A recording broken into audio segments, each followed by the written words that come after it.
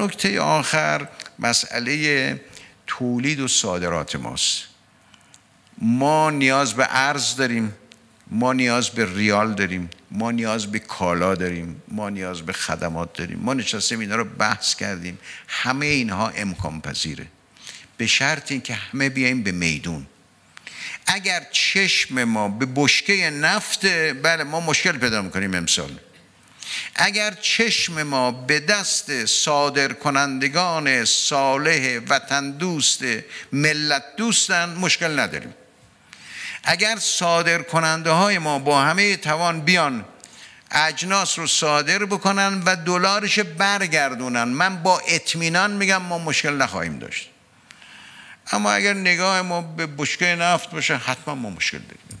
بنابراین ما همدیگر باید یاری بکنیم ارز لازم ریاض لازم تولید لازم. این جهش تولیدی که امسال آقا گفتن به جد عملیاتیش کنیم و همه بیاییم تو صحنه برای عملیاتی کردن تولید و صادرات انشاءالله.